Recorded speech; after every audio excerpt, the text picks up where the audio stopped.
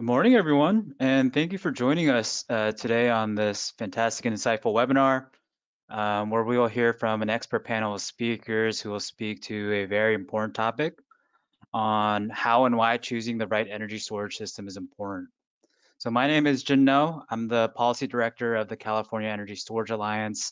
In this role, um, I aim to increase the market opportunities for and improve the value of energy storage as an asset class, while also aiming to uh, reduce barriers to their deployment and operation, operationalization.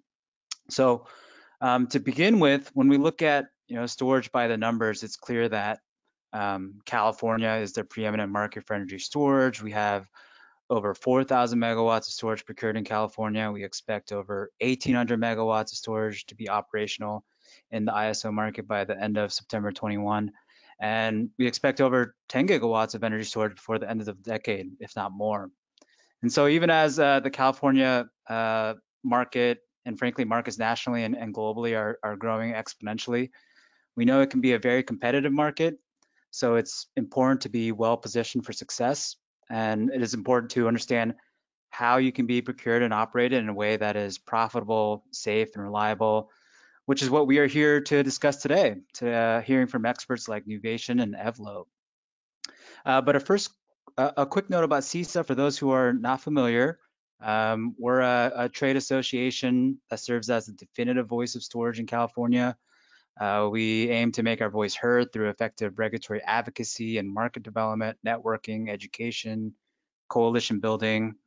Um, we're a big tent organization with over 100 members spanning the entire energy storage ecosystem. Um, on the next slide, you know, including all types of roles, scales, technologies, uh, services, and business models, of which uh, Nuvation is a member. With all that said, I wanted to introduce the, the topic of today's webinar, which gets to this very topic of you know positioning your storage project for success. So while on the surface, a, a battery storage system provides a certain amount of power and energy at a certain price point, um, the reality is that the EPC and storage owners have to process a much broader uh, set of system requirements so that we ensure uh, both the short-term and long-term viability of their storage project. And so on this topic, you know, we'll first hear from Michael Worry, CEO, CTO of Nuvation Energy on some of the key considerations for identifying the right energy storage solution for your needs. Next, his colleague for uh, Joe O'Connor will share some examples of total cost of ownership comparisons. And lastly, we'll, we'll chat with Martin Rheault from Evlo Energy Storage to hear about some of their key go-to-market projects. And so we'll begin, you know, first with uh, uh, Michael Worry of Nuvation Energy, who founded the company in, in 1997, uh, based in Sunnyvale and Waterloo, uh, Canada. Um, and to that, uh, maybe I'll turn it over to you, uh, Michael, to, to get us started on this exciting topic. Great. Thanks, Jen. Uh, I appreciate that uh, introduction. So I'm Michael Worry, uh, CEO and CTO of Nuvation Energy. I'm an electrical engineer by background, graduating from the University of Waterloo in Ontario, Canada. I founded Nuvation in 1997. We're mostly going to be speaking today about my day job, um, where I do energy storage systems. This is an example of me doing some work in one of our systems in uh, Santa Rosa, California. Um, fun fact for me is my hobbies are also in energy storage systems. So this is an example of me doing some welding um, in one of our mutant vehicles.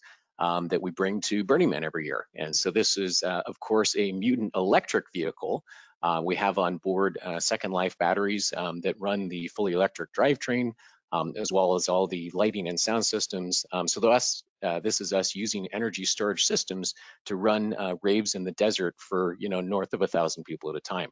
So for me, uh, energy storage is is who I am and what I do, um, both uh, during the day when we're paid and after hours for the love of the game. Today, we're going to be talking about um, choosing the right energy storage system for your specific application. Um, to uh, introduce, uh, I'm co-presenting here uh, between Nuvation and Evlo.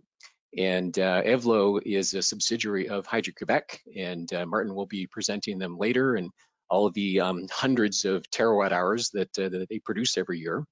Um, Evlo builds their energy storage system using Nuvation's battery management system, and and also Nuvation is a reseller of Evlo energy storage systems. So uh, they're what we call a CVP, uh, client vendor partner. Um, there are times where uh, Evlo is purchasing Nuvation's battery management system. Um, there are other times um, where we are reselling their energy storage system. And all in all, we have a partnership that goes back many years.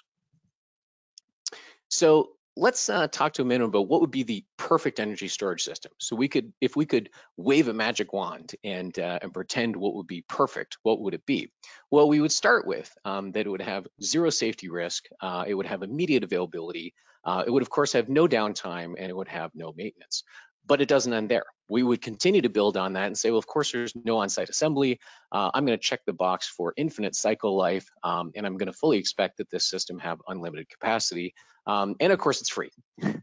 so, so I'm teasing a little bit, um, but I'll kid you not, I've had customers that have asked for everything on that list. Um, let's actually uh, do a little poll and um, see what people think is the most important parameters for them inside of an energy storage system. So, uh, Jake, let me uh, hand it to you for uh, for our first poll. So we'll give people uh, 10 seconds or so to select um, which of these options is the most important for them uh, inside of selecting a energy storage system. Um, you know, is it the most reliable? Is it the quickest delivery? Is it the lowest upfront cost? Um, perhaps the lowest risk of uh, thermal event? Or are we interested in perhaps the lowest lifetime cost? So we'll give people a few seconds to select.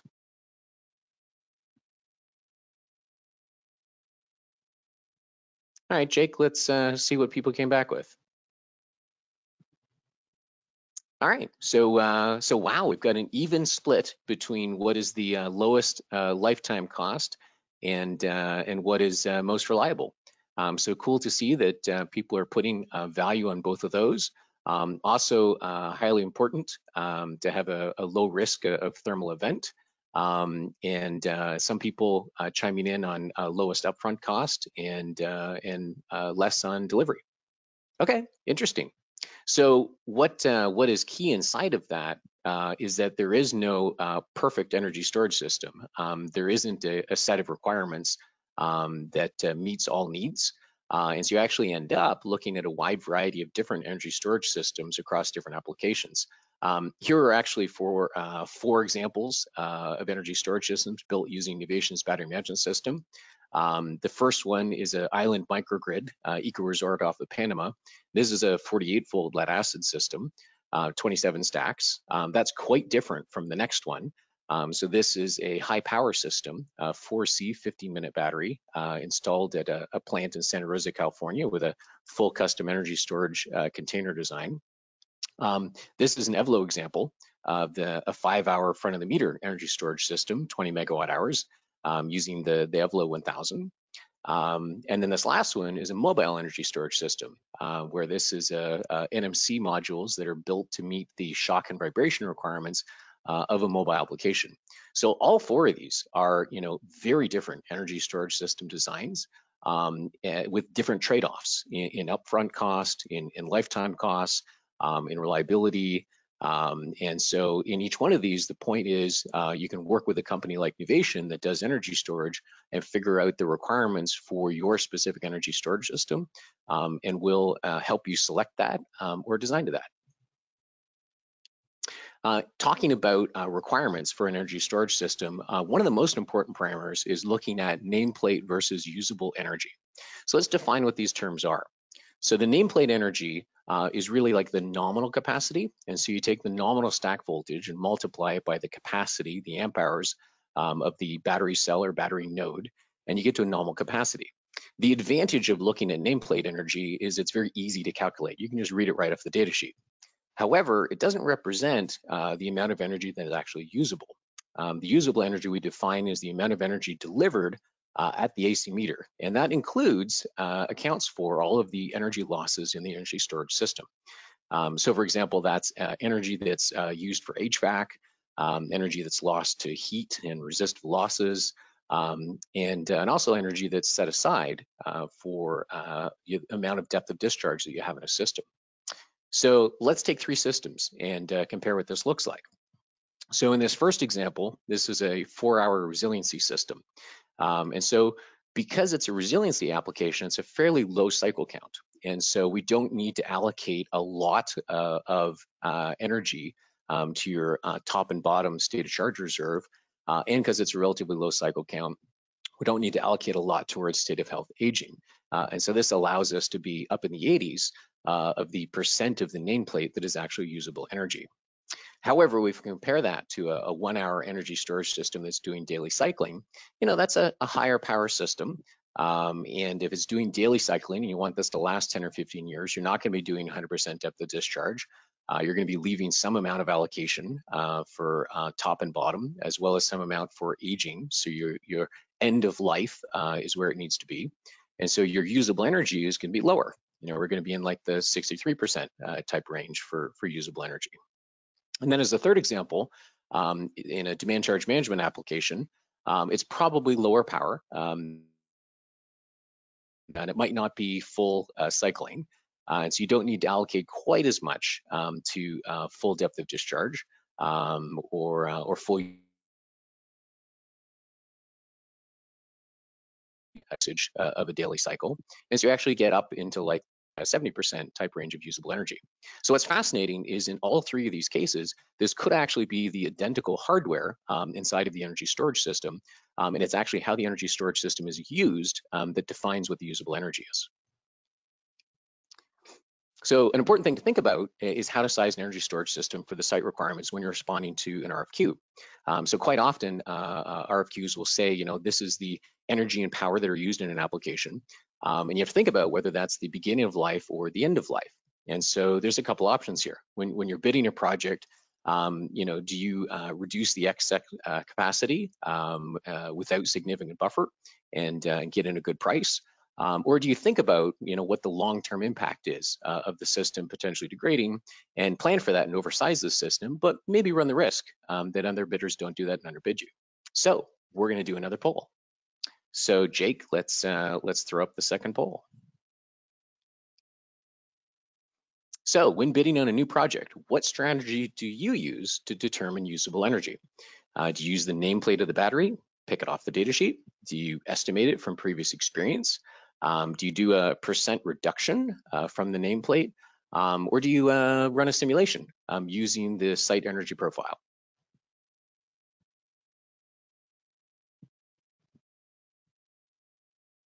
So we'll give people a few seconds to respond to that.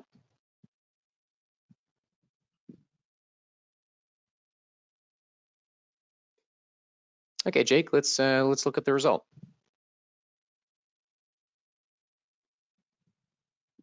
Okay, so this is actually a, a really smart crowd. Uh, so 52% says they actually go through the effort uh, to run a simulation with a site energy profile. Um, so that's that's awesome. It is more effort in order to run a, a simulation like that. Um, some people do a, a percentage uh, reduction uh, from the nameplate. About a, a, third of people do that. That's a that's a quick way in order to do it. So less uh, less effort in your quoting. Um, and some estimate it from uh, previous experience. Um, and and five percent are at nameplate. So interesting. So it's interesting to see the the spread among that. Um, really, the the takeaway from a poll like this is that uh, selling energy storage systems it's not like selling like toasters. Um, you actually need to be like in a conversation with your customer uh, as to how the system is going to be used. Um, because you can't just sell off the data sheet. Um, what we found is in many of our energy storage uh, system sales, there's actually a customer education process to talk with them as to how the energy storage system is going to be used. Jake, let's go back to the slides.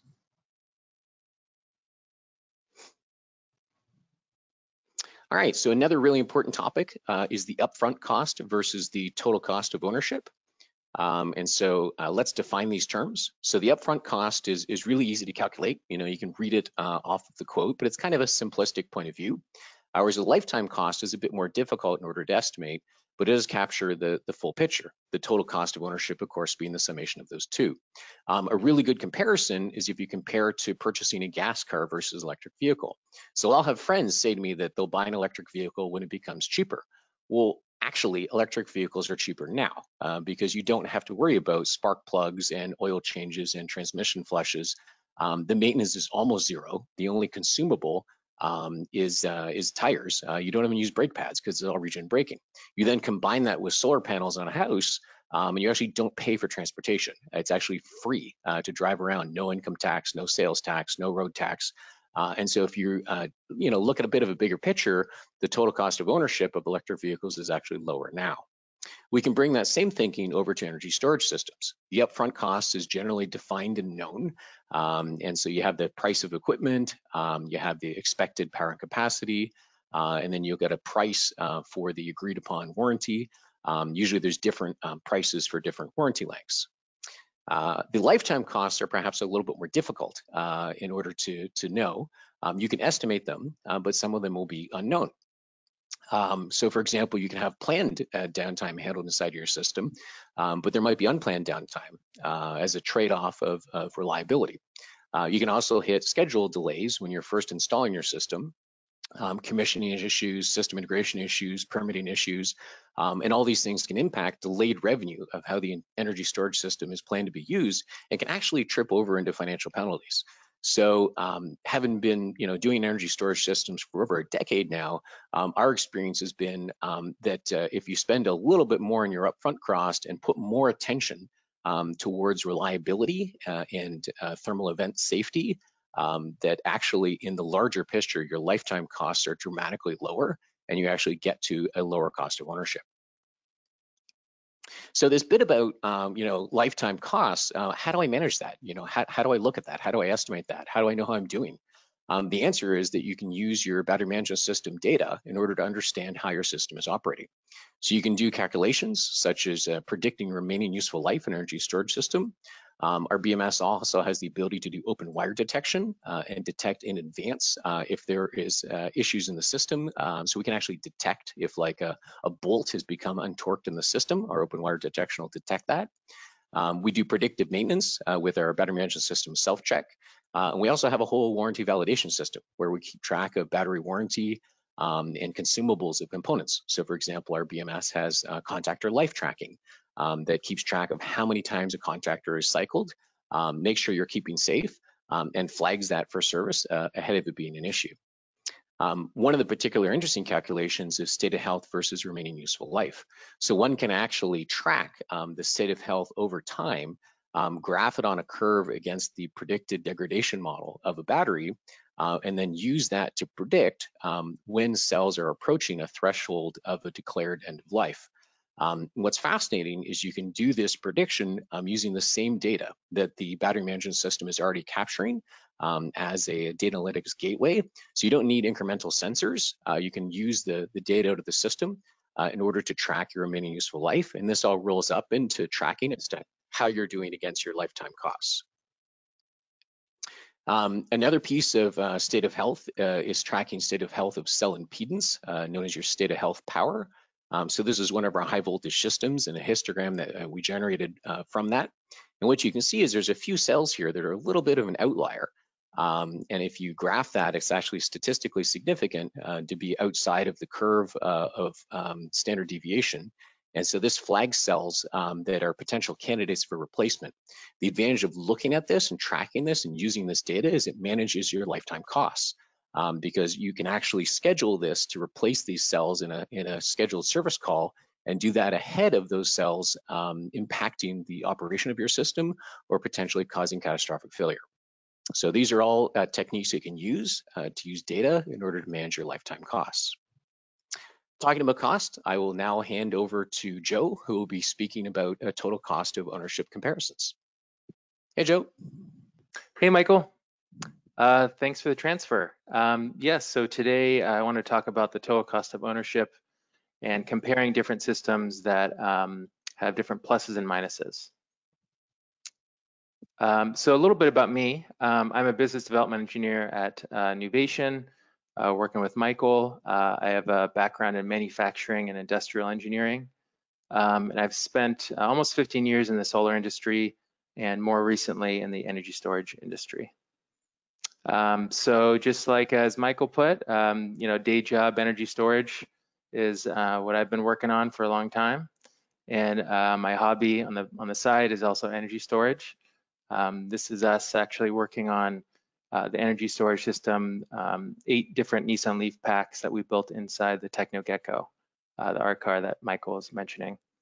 Uh, I also wrote a book on off-grid solar, which is a, uh, a guidebook that helps you understand how to install solar and batteries. So um, solar energy storage um, is all very important to, to all of us here, gets us excited. So um, the, the total cost of ownership um, for three different types of systems.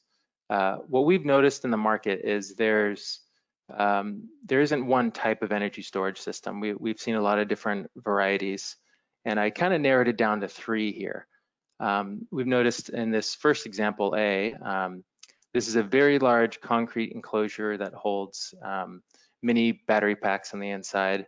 Uh, this particular scenario is using uh, LFP, lithium iron phosphate um, chemistry, um, and it um, has some advantages for how, how large it is. The second category here is a large ISO container, uh, which is very common in the energy storage industry. And uh, this particular one has um, NMC chemistry, um, but this could be any kind of cobalt chemistry that um, uh, that is used for, for lithium. And the final example here is the um, actually the Evlo uh, 1000, and it's a smaller enclosure um, using LFP uh, chemistry. And the, um, the interesting part about these second two examples is they are factory assembled, so there's less work done on site um, because um, they're assembled uh, from their original location. So I wanted to look at um, the different pluses and minuses between these three types of systems. Uh, I think anyone who's you know looked at a variety of energy storage systems as the market is growing and seen these um, these examples out there. So some of the trade-offs, so we're looking kind of at the hardware cost. Um, this is more of a cost analysis. Um, so one thing that we've noticed is the initial price of a large field installed concrete enclosure um, is very competitive. Um, the pricing looks very attractive. Um, a lot of systems have, um, or a lot of sites have, have done this example because that initial price is so competitive. alternatively, a factory assembled um, large ISO container with NMC chemistry that can be a bit more expensive. Um, uh, there's usually also some customization needed on these larger ISO containers um, for, uh, for each project. Um, those can be a bit pricey um, on the initial price. Um, but kind of sitting in the sweet spot here are these smaller enclosures that are uh, more purpose-built for the, the final use case. And so uh, with uh, with that field installed system, um, installing the batteries is an additional cost that they have to consider and plan for um, on site.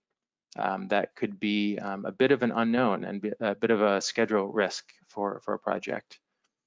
Uh, additionally, um, having to use cranes to move these large um, equipment around can be expensive to rent the cranes and to operate them uh, while using a smaller enclosure, moving it with a forklift. Um, there's some significant advantages there for um, installation uh, time and cost. And on top of that, um, there's a financial risk of thermal events. Um, this is a, a, real issue in the industry that we're all aware of. Um, uh, we are seeing that uh, LFP is a safer chemistry for the in the lithium category. Um, uh, and HJs are catching up and kind of learning about those those differences there. So now let's look at the uh, other kind of trade-offs, kind of the the soft costs or the ongoing costs. Um, you know, a, a, lot of projects nowadays are looking for 20 years or more uh, performance guarantee. Um, these are large facilities that need to run for a long time. Um, it's not cheap to keep these systems um, up and running and making sure that there's enough capacity for uh, end of life. Um, a lot of times projects are planning for augmentation, um, which is just adding more batteries onto a site um, at a later date. Um, and we're seeing that um, that can be costly for, for an NMC system that has doesn't have as good of a cycle life compared to LFP. there could be a lot of batteries that need to be installed onto a site. Um, additionally here, so uh, trained skilled labor, this is a this can be an issue for any field installed system. Um, there are unknowns and there is integration and engineering happening on site, um, no matter how much you plan and um, and try to make sure that that um, system is designed correctly. Um, so the factory assembled really is a clear winner here. Um, on maintenance and component replacement, um, this could be somewhat of a wash, but um, there are some advantages by having um, a smaller um, factory assembled enclosure. Uh, some more uh, risks here uh, to consider are schedule delays, anything that could slow down a project. Um, anyone who's installed many projects in energy storage these days knows um, how this can be forgotten or, or miscalculated. So looking at commissioning or integration risk, um, again, obviously a factory assembled uh, system has some advantages there. Um, and also looking at permitting and regulatory, uh, you know, this this has kind of been all over the place, but uh, with uh, NMC chemistry that can be uh, very hard to um, get past permitting. Um, a lot of fire suppression stuff happening for both the field installed system um, and a large ISO container can be complicated. Um, having a pre-engineered system that um, that works well and is a smaller um, size can be easier to get through uh, through permitting. And finally, a delivery lead time um, there can be significant advantages by having a field installed system. It's easier to ship out components and get them to site. Um, uh, so there are trade-offs and benefits from, from all these different types of systems. So these are just three categories that we um, kind of had a hypothetical scenario here. Um, the question is, you know, which is the best one for you and which is the best for the uh, energy industry? And it really depends. It depends on your goals. It depends on uh, what your priorities are on a project. So from here, I'm going to hand it off to Martine. Thank you, Joe. Thank you, Michael. Thank you, uh, CESA, for having me here today. It's a uh, really, really feel uh, privileged to be here in front of uh, such an audience to talk about energy uh, storage. So uh, I'm uh, Martin Rheault, the VP of Business Development for Evlo. And what I love to do is basically to make connections between client needs, technology, power system requirements, um, execution challenges, and the commercial aspect of all of that together. So I really feel I'm at the right place right now in my role the um, so Evlo by Hydro-Québec. So um, we're a wholly owned subsidiary of Hydro-Québec. For those who don't know Hydro-Québec, we have put some uh, numbers on the left side. We're the uh, largest renewable energy producer in North America. So in the current energy transition uh, that we're in, uh, we feel that we're basically getting it into it with a bit of a net start, having 99% of our electricity coming from renewable uh, sources. And a bit more on Evlo, who we are. Well, uh, we uh, design, install, operate uh, st storage solutions. And uh, like the one we mentioned already, the Evlo 1000, which is our flagship product at the moment. We're around 100 employees, most of us uh, in the Montreal area in Quebec. And we leverage uh, basically two main things from Hydro-Québec, which is uh, the uh, 40 years of research and over 800 patents in the battery research, and uh, also the DNA of utility the, that we put in our solutions. Um, so amongst those patents I just mentioned, LFP is one of them. Hydro-Québec is a owner of the uh, of the license with the alliance. So in in other words, if I may say, we solve the utility's biggest uh, challenges uh, with the utility grade energy storage solution. This slide, um, I'm showing a bit of an overview of product and services that, that we offer and uh, want to point out, uh, and we touched on a couple of them already with, with Joe and Michael, but the, the most important one, again, the, because they're important, we're gonna repeat them a, a, little bit, but the safety aspect of the chemistry, so the LFP is known to be uh, the safest in the LFP family uh, advanced safety feature, I have another slide just after to cover that, the life cycle or the durability. is is super key and the ease of installation. So that covers the hardware piece and the, probably the most important parts. On the software side, a bit different. Uh, we we feel in the industry that having a fully integrated software suite is is an, an important uh, an important element, as well as the remote monitoring features. We, we touched on it already.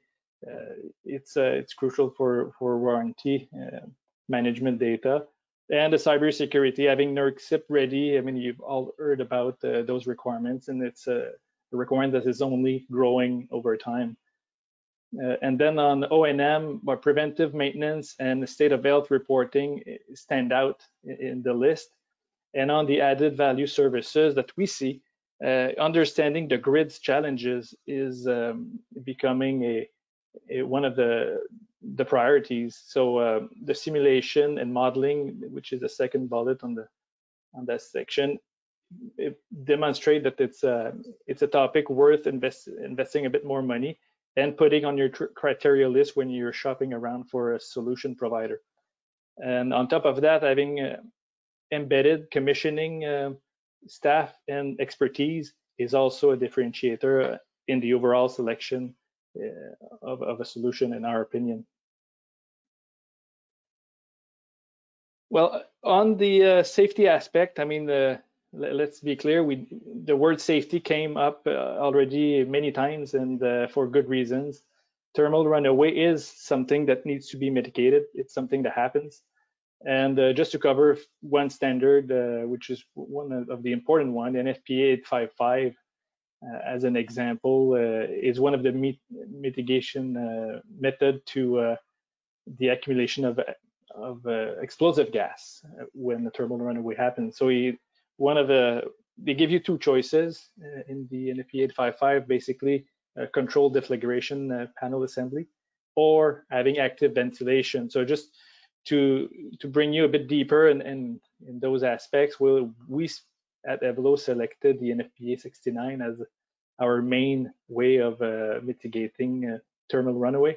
So in, in few few words, it's uh, to maintain the content of gases, uh, explosive gas below 25% of the lower flammability limit. Well, a bit of the sequence of event upon a detection of, uh, let's say, hydrogen, for example, we would stop all activities, alert first responders, uh, having a visual alarm and sound at site, and then activate the automatic venting system uh, with the, the economizer mode on on the HVAC to end the thermal runaway as soon as possible. So the key here is to act as fast as possible before it goes too far and uh, and go deep into a, a thermal runaway event. On the right side is a little bit of a transparent view of the current uh, Evlo 500 uh, being installed with all of the safety features that you can imagine inside the box, the kind of things you don't see from the outside. And uh, coming back to the Evlo 1000, uh, we approach uh, the thermal runaway management a bit differently, still with the uh, Section 69 and NFPA we evacuate gases uh, from the roof, blowing air through the HVAC with the economizer on. So just to give you a bit of the complexity and the features that you could add to your um, selection process of uh, energy storage solution. On this slide, really I want to uh, point out the right side of the picture right here, which is uh, our testing facility. And the main reason is that you may have heard of a FIT that stands for uh, Field Integration Test. Well, it's a it's a requirements we see more and more, especially north of the border, but uh, a little bit more in the U.S. as well. Well, the field integration test has a clear goal is to de-risk uh, the assembly and um, demonstrate to the customer the viability of the whole chain from a DEMS, uh, the PCS, and all the way down to the to the the battery uh, system. So we uh, we're proud to have invested quite a bit. We heard the feedbacks and we saw it coming. Invested the, uh, a significant amount of effort in having a world-class uh, testing site where not only we can do fit, but also special customer testing we, because everybody has its own requirements and uh, as well as certification and even personal training. So uh, that's another element to add to your list when you're going to market looking for a solution. Are they able to demonstrate you a, a real size, full scale type of, um, of system? So this one is a 25 kV experimental line on the Research uh, Institute of Hydro-Quebec uh, campus. I think I'm still good on time. Some of the use cases you see, uh, well, they I think we covered it pretty well. Uh, different application, different criteria to select. On the left would be a microgrid system, which is installed at the moment at Lac Mégantic uh, for Hydro-Quebec. And uh, really one of the main feature on those ones uh, and a recurrent topic is really the, how fast we can respond to to to the to the signals. Imagine we have fluct or intermittent resources from either solar, wind, with uh, behaviors of diesel genset combined to a, a certain load. So uh, that's a, a, critical aspect that uh, that you would be looking for in a microgrid environment. In the middle, it's a totally different. We say integration of renewables, but it's uh, in fact it's a lot of the um, ancillary service market that we cover on the Tonnerre project in France that is being deployed. So it's a picture from last week, if I'm not mistaken. Uh, it's uh, basically doing a frequency regulation in the RTE network.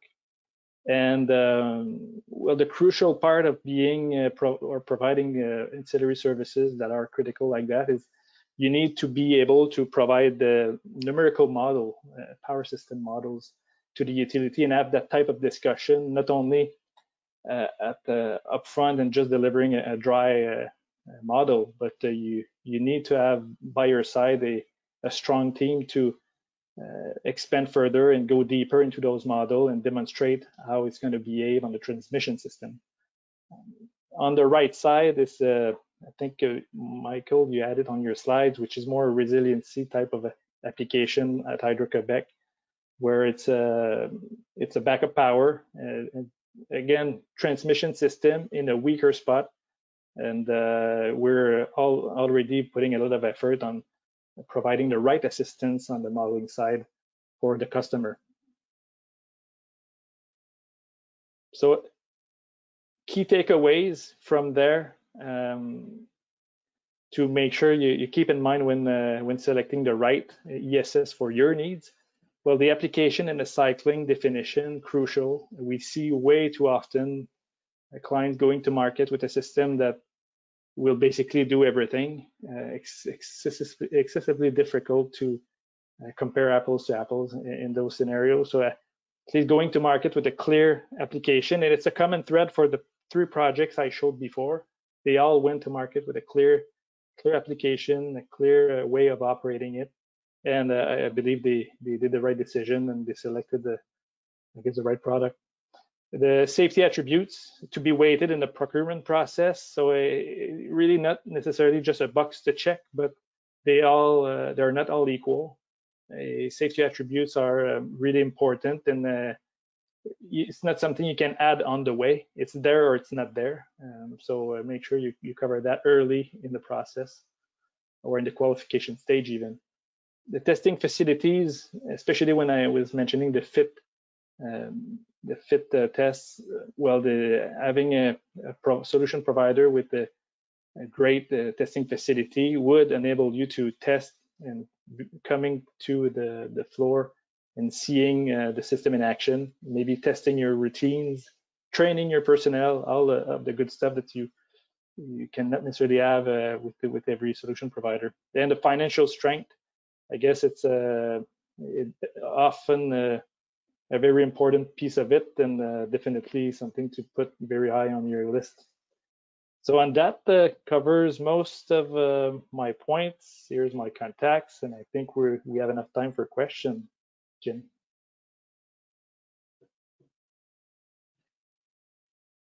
Yeah, absolutely. Thanks, Martin, for that presentation. Thanks, uh, Joe and Michael for for a great presentation. Um, I think, you know, before we dive into questions, you know, one thing I wanted to, I was remiss to mention was, uh, you know, how to engage, you know, logistically. You know, I, I, see some people have already learned the tool. You can just type in your questions. Um, the raise hand feature and unmute were likely not going to do uh, at this stage. So please type in your questions and I can relay some of them. We'll try to get to as most of them as possible. Um, some are very specific, so I uh, you know, encourage you to reach out to each of our speakers individually for some of those specific questions. And so I guess to begin with, um, no, I wanted to say, uh, you know, you guys shouldn't be called storage experts, but you know, storage arts artists or craftsmen in terms of like how much how much passion you guys have for for storage and and um, you know optimizing and, and just really diving deep into these very technical topics. But uh, you know, with that said, I wanted to you know start off with uh, uh, just a level setting question for you, Michael, in terms of um, you know we mentioned how you know Nuvation solution can help manage uh, uh, warranties and and um, have greater analytics into that. I, I, was, I was wondering if you could help clarify what is the difference between equipment warranty, availability guarantee, and degradation guarantee. We've heard those terms several times, and it'd be helpful if you could clarify. Yes, yeah, great question. Uh, and there's definitely some difference between those terms. Um, then this actually rolls up into a system level. I know Martin uh, had uh, specific definitions that uh, uses uh, between those uh, those different terms. So I, am going to hand it to Martin for this one. Well, thank you for Michael. It's a like a, I guess a burning question on my desk these days. So you know it's a it, it's so important. We should have insisted maybe even more, but it's it's a great question to ask now. So we see it as really two main layers where there's the equipment warranty on top, which is really a break fix type of warranty. Typically, we'd see one year or two years, and you can extend it to I don't know five or, or more depending on uh, on the supplier. So that's that's the equipment warranty. But the, the other layer is way more complex. So some some say it's a long-term service agreement. Some would say performance warranty uh, guarantees. Well, we see it in two layers there there's the um, the degradation guarantees, which is one thing that uh, is manageable by monitoring, monitoring the behavior, the temperature, the cycling of it. Uh, so this one is fairly, um, I guess, easy to capture, to quantify. The availability or the uptime uh, guarantees is, is another ballgame where the you see more and more in the um, the industry going from uh, I don't know 95% availability to all the way up to uh, we're seeing 99%. So imagine the, the burden and the responsibility represent to uh, maintain 99% of the time the asset. So you kind of need to be boots on the ground with the, uh, the, the, spare parts locally with the right teams ready to act on. Uh, well, it comes with a bigger cost uh, and a bigger liability. So it, the way you define your needs and your appetite for all of those uh, those layers is uh, really critical and uh, really, frankly, difficult to put on a level playing field. But uh, really, that's uh, that's why we're talking about it now. I think it's uh, part education and part risk management, but really interesting topic. And the the, the perfor performance guarantees is really the one to take a, a lot of attention to during your your process. Yeah, uh, that that's really helpful. And um, another great question actually came in from from uh, the attendees here. You know, maybe this is uh, uh, directed towards you, Michael, as to you know you have you have the analytics and tools to diagnose the health of the storage system, um, even at a very granular level. But I'm, I'm curious to hear you know, how that could potentially be actionable. Um, because one attendee is asking, you know, when replacing these outlier cells, when you actually identify it, um, how hard is it to actually find it and and um, replace it and, fix the problem? Um, sure, uh, great question. And uh, this actually comes up a lot when uh, systems uh, start to age um, because uh, batteries uh, age at different rates. Um, and so how do you manage uh, replacing a few of those cells that are potentially uh, outliers? Um, so the advantages of Nuvation's BMS is it's uh, highly configurable. Um, and so you can actually, uh, you could replace individual modules ideally uh, with the same modules or battery manufacturer that made them uh, originally. Um, however, if those are no longer available, you can replace them with the same chemistry uh, of another battery manufacturer as long as they have uh, very similar voltage parameters um, for those cells. Um, and our BMS will, will work with that and it'll manage and balance the stack inside of that.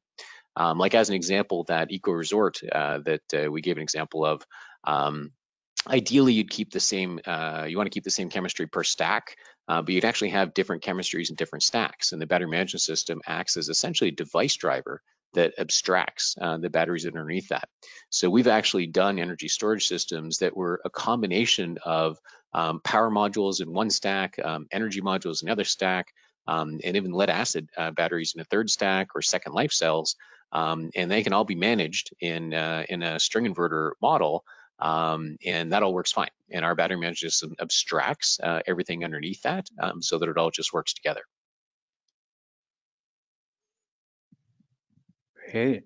And um, Martin, uh, maybe maybe a question for you in terms of, you know, Michael shared kind of a, a case where they're seeing BMS in action, but just from your experience with with the, the projects, are there any critical lessons learned um, for for some of the projects in the field on how it's actually benefited you, or, or any challenges that you see? Well, uh, definitely, uh, we've seen, especially imagine in a smaller site where you don't have necessarily operators present at all time, you totally rely on those systems to alert you. And uh, it's been uh, it, has been proving uh, it, it's worth uh, many times actually. So you know, no later that, that this week would be, uh, let's say a, a wrong set points on an HVAC, for example, and will show up as a, a trending temperature raising inside the the compartment and we would act way before it, it, it creates any problem. So uh, I truly believe we totally rely on those uh, on those systems to be not only there but used properly. Uh, that's the definite case. Mm-hmm. Thanks, Marn. And we're also getting a lot of questions about about different use cases and how that might fit in, you know, beyond the ones that were covered uh, Michael, I really like the the presentation of how you know we can really differentiate usable energy and and Joe the total cost of ownership of, of really different use cases, which has different performance requirements for the storage system. But there's this question of second life batteries. I know it hasn't been um, as big uh, of of the share of the market yet, um, given the fact that uh, you know storage costs keep coming down. Um, but we're potentially, whether this is just temporary or not, a new area where we do have some supply chain disruptions. Um, where Martin, I think a question was was directed towards you as to, you know, are you guys seriously looking at, you know, second life batteries? Um, and then maybe Michael or Joe, you know, a question for you is like, when you when you look at second life battery applications, how does that change, you know, how you optimize or, or monitor these systems? I can uh, yeah. go. Oh, I can go first. I will, uh, and leave it to to my Nuvation colleagues there. Sure. But the, um, I think the, the, the second life battery uh, is something we've looked definitely. The thing is, uh, especially when we work with utility and the type of uh, requirements by the utilities and the, the guarantees and the warranties we just talked about. Uh, in our model so far, we've been sticking to the to the new only and uh, I'm pretty sure there's, there's there's a market for it, and probably with different uh, requirements and different warranties and guarantees attached to them as well. But uh, right now we're uh, we're not in that business at the moment. Yeah, um, I, I, could touch on this topic a bit. Um, we we've noticed a lot of um, customers asking about Second Life. It comes up quite a bit. we actually kind of categorize it into two different categories of um, pack rebuild where you tear down the batteries and rebuild them again from the cell or modules up, or you find a way to just reuse the EV pack as is. Uh, and as electric vehicles get uh, larger batteries, you know, moving into the future, um, if there's a 100 kilowatt hour battery sitting in a car that isn't going to be used anymore, that's a very large um, uh, node of power that could be used. So when you take a small Nissan Leaf battery and you try to reuse them and all the labor costs to rebuild them, sure, maybe there's some um, cost disadvantages there. But if you can take a full, uh, very large pack, reuse it as is, um, there's certainly a market for that, and we have a lot of batteries coming on the market very soon. So Nuvation's deployed into the field a lot of uh, Second Life systems, uh, and as Joe is referencing, we've got systems um, both at the module level, uh, where packs are torn down, um, uh, modules are binned, uh, and then put uh, in similar state of health groupings into the field. and we've also done full packs. So, for example, we just commissioned a 40-foot container in Norway um, that's comprised of 40 Nissan Leaf packs um, still in the pack using Nuvation's Second Life pack controller. Great, great. Yeah, yeah, that's interesting. Um, see where see where things develop on that front. Um, uh, I guess another question is, you know, we're, we're, we're you know, a lot of this webinar is dedicated toward understanding, you know, why having, you know, strong battery, you know, storage system analytics and having a, a, a BMS is important to, uh, you know, ensuring that the project is safe, reliable, um, you know, really uh, adheres to some of the performance requirements of whether you know you take the warranty or not. But um, Martin, I, I, was, I got a question here from one of the one of the attendees here around you know how do we evaluate different you know BMS vendors and what are some of the criteria you look for um, as to um, you know selecting the right one? Uh, are there specific standards, specific criteria that you go uh, throughout that process? Where we we're obviously biased I guess. It's a great question though, but uh, I guess the uh, the algorithm for early detections and the, the reliability portions are critical. I mean, we've we've been addressing similar uh, in a similar fashion the market. We, are going for more high quality and reliability uh, as the, the first two, and uh, in, for us selecting a BMS, that was really how we we did it. It had to fit the rest of our uh, philosophy, and the, the the remote capability and the data the data aggregation was uh, was such that we were able to aggregate it into our own B uh, EMS easily. And uh, I guess the collaboration with the, the, the manufacturers, having them not only in Canada and US, was another key differentiator in our point of view. Yeah. Great. So certainly in selecting a battery management system, you know, a high weight um, towards reliability, um, the amount of product that's uh, that's in the field and has accumulated uh, field time, uh, the configuration capability uh, of a BMS, um, and the ability to scale manufacturing. So these are some of the key questions uh, that customers ask us and the feedback we get uh, as to why they've selected Nuvation's BMS. And UL certification is, is a big topic there. Um, we have we're the first configurable BMS that's reached uh, UL recognition for 1973 and 9540. Yeah, um, and, and you know, touching on safety and reliability um, a little more. I, I, know that this is a really important topic. Um, you know, we see, we, you know, we track the news um, and we try to learn from them as much as we can and, and manage them all up front. But um, Michael, I guess a question for you is, you know, what are some of the best technologies to um, prevent, you know, thermal runaway? And you know, even a, a, an attendee asks, you know, you know, do you, have you explored or do you have any comments on liquid cooled or air cooled designs um, to address that issue? Sure, sure. So a, a couple points inside of that. Um, so the, the biggest piece in terms of managing and preventing uh, thermal runaway uh, is managing the, the system with data and uh, and you can you know manage the system um, and we've noticed this in many of the large systems that are in the field as you can see subtleties in the data of differences in uh, temperature differences in cell voltages um, and that can actually be used to track down. So we've actually found situations where, you know, the wrong gauge of power wire was installed in part of a system um, because there was a thermistor running just one degree higher than all of its neighbors. And we're like, there's something here. And we went and looked at it in the field and discovered, okay, these cells would actually have aged faster. Um, and so we, we can correct this. Um, uh, Evlo is, you know, really leading the market uh, in terms of their uh, fire protective technologies um, that they, uh, you know, as uh, Martin presented, um, you know, they have the ability to do the water deluge. Um, they have the ability um, to, you know, vent hydrogen gases, um, do that uh, automatically. These are a, a, lot of the key uh, safety parameters uh, that protect you when, when, you have events like that. Uh, and then fundamentally, you know, there's a lot of different chemistries in the marketplace. so you know, uh, all, all, lithium batteries uh, have a level of safety, and LFP uh, has even a further level uh, of safety protection from thermal runaway.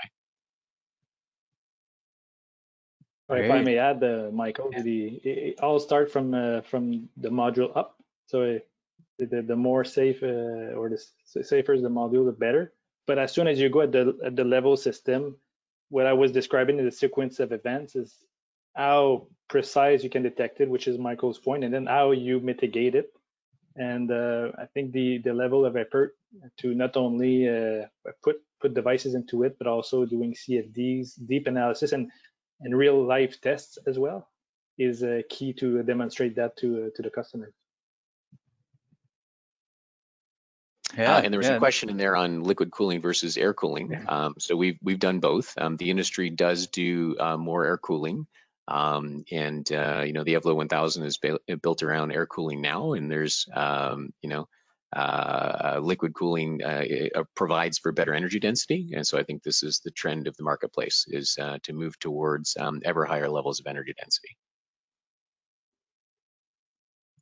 Yeah, yeah, yeah, very insightful. Um, yeah, I know we couldn't get to all the questions uh, that attendees sent, and and you know, I just wanted to remind everyone that the the uh, presentation materials will be circulated. Uh, uh the recording will be will be um, uploaded. So um, I know we're getting a lot of questions there, and of course, a lot of the many specific questions you have. I know the the panelists encourage you to to, to reach out. Um, but before we wrap up, I wanted to uh, conclude with a, a quick lightning round of, of, two questions for for all of you. Um, you know, to kind of uh, really distill all this into a few key takeaways. Um, I guess my first question is, you know, can you translate the importance of, of BMS and and really, um, you know, having strong data analytics to to your storage system uh, to its impact on bankability, you know, revenue certainty, uh, and or insurability? I guess this is the first question I wanted to throw to everyone. Yeah, uh, so for me, you know, BMS data is your data gateway as to everything that's going on inside of the system. So if you want to know the mm-hmm. bankability of your system, you need to know how it's performing. You can only manage something uh, if you have the data to do it. So if you want to get into calculations such as your remaining useful life in that example that was given, um, you know, that's the, the long-term performance of your system, and you have to do that uh, off of data, and that all comes from the battery management system. I'd say that um, reliability is, is, a huge factor of uh, good data. You want to get good data, not any data. Um, having factory assembled equipment um, that is tested in a, in a, a, you know good environment, I think is key for um, uh, you know getting all those uh, the, the, right data into the system. Yeah, if I may, I mean, I echo what uh, Michael and Joe were, were saying. And uh, in terms of volume, yes, BMS generates lots of data, and they also in, in, ratio generating probably the most important data, especially for for safety and performances. And the rest would be balance of uh, of system PCSs and the rest of the high voltage, let's say, connections. But really, uh, it, it all starts with the with BMS for for almost all of the algorithms uh, algorithms uh, from the bottom up. Mm-hmm. Yeah, yeah, that's really good takeaways. And I guess my last question is, you know, as we see uh, the storage market grow and potentially a lot of these project opportunities grow in size um, to the gigawatt uh, hour scale, you know, what should we, what should everyone be aware of uh, in terms of technology changes and how should we adapt to to all uh, uh, this evolution? Yeah, uh, and so like I can chime in, like we uh, continue to see requests from customers uh, to extend uh, our product lines. So like we've had for many years our multi-stack controller that can manage up to 32 stacks of batteries. Now we're working with customers um, uh, delivering site controllers and plant controllers uh, where they want the ability to manage hundreds, thousands of, of, stacks at a time. And so we we have uh, the multi-stack controller that then has above it uh, equipment that can aggregate um, multiple banks uh, of batteries together. And uh, another trend we've been seeing is going higher voltage and higher higher amp hour capacity. So 1500 volts is definitely the future or um, what we're seeing. Um, we're also pushing the limits on how much um, amp hours we could put behind a node or behind a cell or module. Yeah, I totally agree. And on top of that, the uh, bigger site, bigger challenges. So uh, how uh, how to deploy faster? I mean, it's been the key for sol the solar industry to deploy and, and reduce costs dramatically. So how we're gonna scale up the the large scale ESS and have efficient means of constructing and having those EMSs that we're talking about, aggregating all of those stacks, uh, capable of uh, controlling as efficiently huge uh, and gigawatt hours of projects, and that's uh, that's stuff we're already working on uh, and able to deliver. Yeah, well, we're at the hour. Um, just want to say thank you so much for really leading a, a, very insightful panel. I know me personally, I've learned a lot. I'm hoping um, everyone who attended uh, uh, learned a lot as well. You know, you have their contact information. We'll share the presentations. Um, and I think I just wanted to conclude by saying, um, you know, CESA's here to connect you with uh, um, Nuvation, Evlo, um, you know, consider joining CESA uh, and definitely follow up with me if you're interested in learning more about what we do. Um, we, we like to have these types of, we like to um, host these types of uh, educational webinars um, and, and, really spotlight some of our members. So, you know, thank you Nuvation for, for your membership as well. So with that, um, just wanted to say thanks so much, uh, all of you. Uh, I wish we could see each other in person pretty soon. Um, but otherwise, hope you, hope everyone has a great rest of the day. Thank you, everyone. Awesome. Thanks for the opportunity. Honored to be here. Thank you so much. Stay safe. Thank you. Take care.